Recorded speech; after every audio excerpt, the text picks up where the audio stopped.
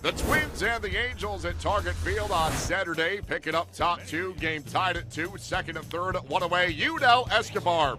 A tie breaking two run single off Ricky Nolasco, 4 2 Halos. Escobar, though, cut down at second base, but bottom three. Here come the Twins.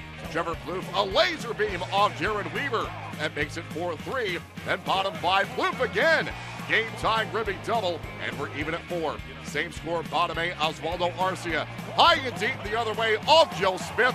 Tie breaking blast makes it 5 4 Twins. And the next batter, Byung Ho Park. A moonshot to deep center. Byung Ho Park's that one way far away. Twins go back to back. It's now 6 4.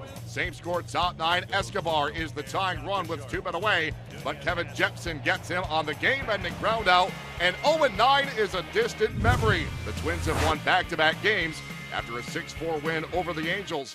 Eduardo Nunez tripled and singled in his first two at bats to make him nine for his first nine this season as a starter.